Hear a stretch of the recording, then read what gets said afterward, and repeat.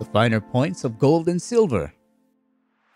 Gold and silver are priced around the clock from Monday morning in Asia to Friday night US time in a series of financial exchanges, starting in Tokyo and Shanghai, then London, and lastly New York.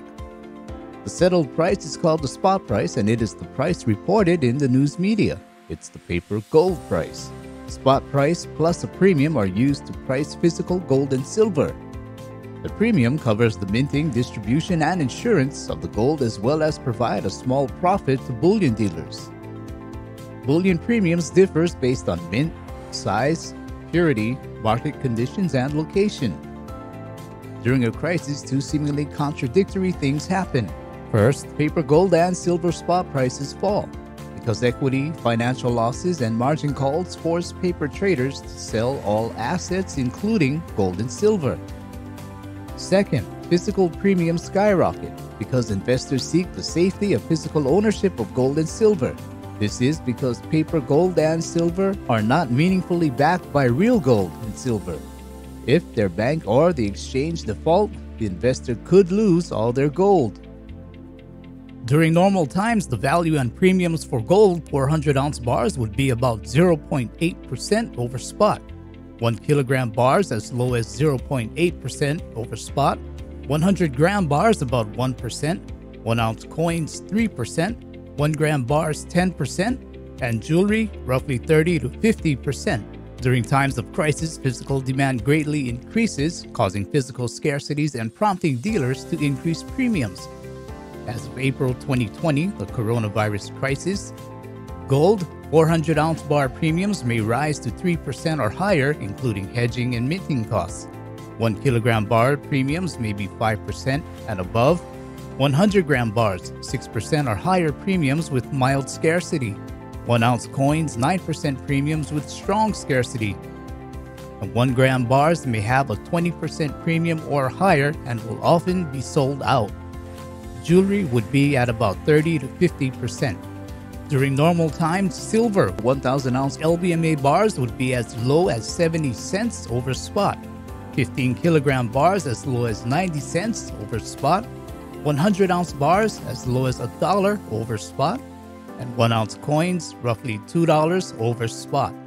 Jewelry would be about 50 to 200%. During times of crisis, physical demand greatly increases, causing physical scarcities and prompting dealers to increase premiums.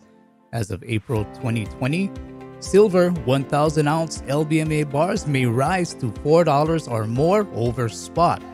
15 kilogram bars $4.50 or more over spot. 100 ounce bars $5 or more. 1 ounce coins $8 or more over spot. Jewelry would be roughly 50 to 200%. Note that small bars and coins go up in premium much faster in a crisis as demand for these items quickly outstrips supply. Larger bars tend to be available longer and maintain lower premiums.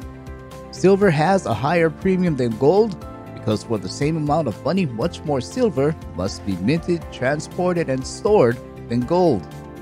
Premiums are a fixed amount over spot, not percentages, so the lower the spot price, the higher the premium.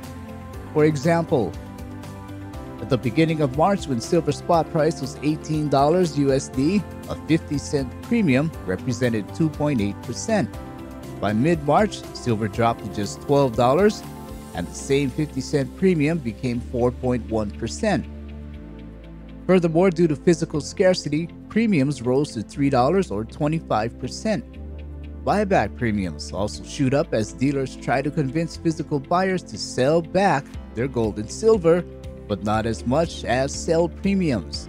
Both of these coins here are 1 troy ounce or 31.1 grams, and both are 4 nines purity.